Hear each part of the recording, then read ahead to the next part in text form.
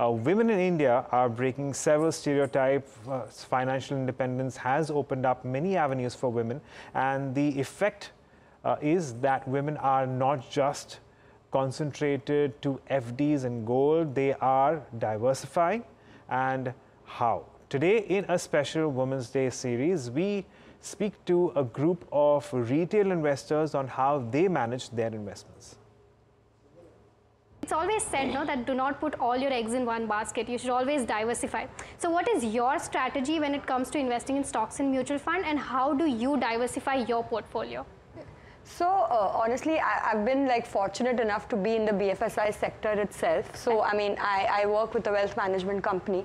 So that gives me a lot of knowledge as to you know what's happening in the market. So that really sort of made me much aware with the market. Honestly, I was very intimidated with the market initially when I thought of investing because traditionally my parents also always thought that you know if you have surplus money, keep it in FD. But I mean, because I'm in this industry and I've you know sort of gained knowledge as to you know there are various various securities that you can uh, invest. I obviously chose mutual fund because for me investments are currently long term and like I said I'm intimidated with the market so I started with mutual funds but while I've been investing for the last five six years I've understood that direct equity is also not that bad. So as we speak today I'm not really investing in direct equity but I mean I would I would sort of like to take that you know, uh, leap of faith also of investing in direct, direct equity. And so there was this interesting uh, data, I mean, I would say quite sad data. Um, so uh, the data is like there, there have been declining trend when it comes to you know opening of demat account with respect to women. So Anmol, my question to you is, uh, what should one do to increase the financial literacy amongst women? First is we need to target educational courses and workshops where we can have these discussions about what exactly is mutual funds, how has your experience been, uh, especially discussion among peers is most helpful. Not only it guides you, it also helps you understand their previous experience as what has there been journey and it kind of leads you. You don't have to uh, start from step zero. You can start at step one because of the right guidance. So those are very important. Even for me, I started investing in mutual funds because of recommendation from my peer. They told me how it works.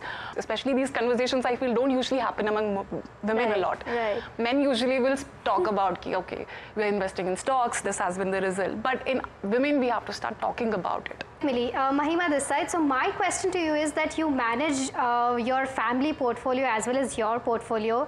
Uh, how important do you think is a woman's participation in terms of family uh, financial decisions?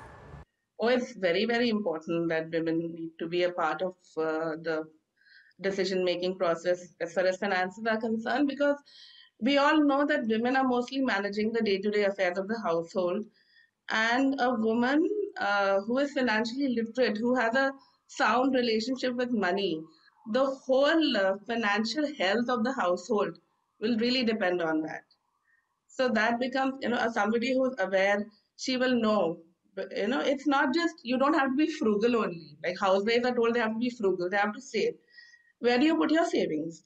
If your savings are lying in the locker, they're useless.